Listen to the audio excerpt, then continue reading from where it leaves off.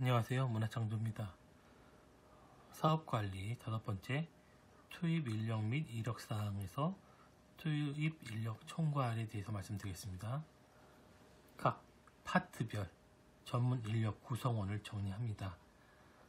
개발 파트 뭐 담당자 책임자 있고 거기 밑에 실, 업, 실 업무 개발자들 뭐 디자인 팀장의 뭐 실제 디자인 담당자, 뭐 사업관리, PL 각각의 파트를 세분화시켜서 전문 인력 구성원들이 어떻게 되어 있는지 정확하게 인원수를 파악하고 이거를 보고하기 위해서 저는 그렇게 기술합니다.